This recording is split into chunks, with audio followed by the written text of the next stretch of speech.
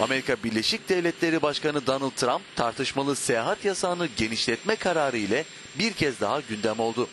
ABD'nin daha önce açıkladığı seyahat yasaklı ülkeler listesinin Venezuela, Kuzey Kore ve Çatı da içine alacak şekilde genişleyeceği açıklandı. Amerika'yı güvenli hale getirmek benim bir numaralı önceliğimdir şeklindeki paylaşımı da dikkatlerden kaçmadı. Beyaz Saray'dan yapılan açıklamaya göre yeni seyahat yasağı 18 Ekim'de yürürlüğe girecek. Bu kararla daha önce çoğunluğu Müslüman olan ülkelere uygulanan seyahat yasağı ilk defa Müslüman olmayan ülkelere uygulanmış olacak.